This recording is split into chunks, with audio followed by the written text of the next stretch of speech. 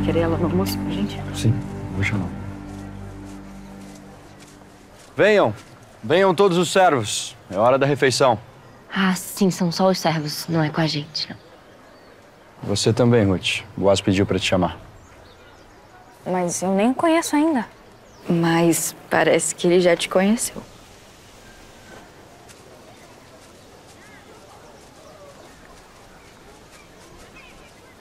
Não, Ruth. Nessa mesa aqui do meio.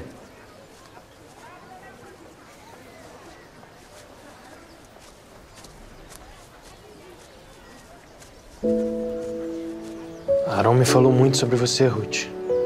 E eu também fiquei sabendo o que Shane tentou fazer. Não se preocupe comigo, senhor. Pode levantar o rosto, Ruth. Eu não mordo. Eu quero que saiba que já tomei as providências para que nada parecido aconteça aqui, tá? Tenho a minha palavra de que ninguém vai te incomodar nos meus campos. Liz é de minha confiança e eu quero que você sempre fique perto dela e das outras moças. A ordem já foi dada aos servos para que não te toquem. Se quiser beber água, vá até os odres e beba da água que ela ou que os servos tirarem. Qualquer problema é só falar com ela ou com Aaron. Então é isso. Vamos comer. Mas, mas por que tá fazendo tudo isso por mim? Eu sou só uma estrangeira. Eu ouvi falar de como você tem cuidado da sua sogra depois da morte de seu marido. De como abandonou seu pai e até onde nasceu para se juntar a um povo que não conhecia. Que Deus retribua tudo o que você fez e que você receba a recompensa completa da parte de Deus de Israel, cujas asas você veio se abrigar. Muito obrigada, senhor Boaz. Eu sei que eu não sou nenhuma das suas servas e eu nem mereço ser tratada desse jeito. Mas eu fico muito feliz que me trate como se eu fosse. Obrigada.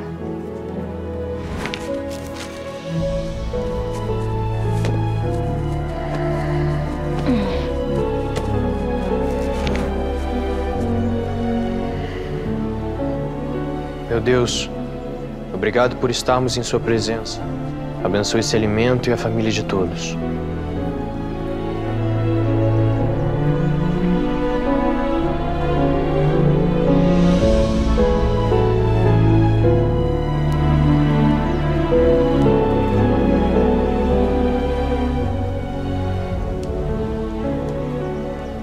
Coma do pão e molhe no vinagre de vinho, para dar mais sabor.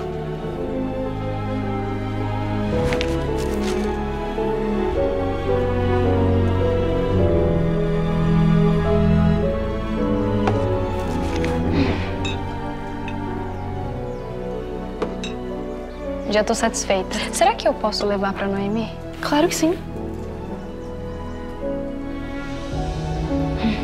Obrigada.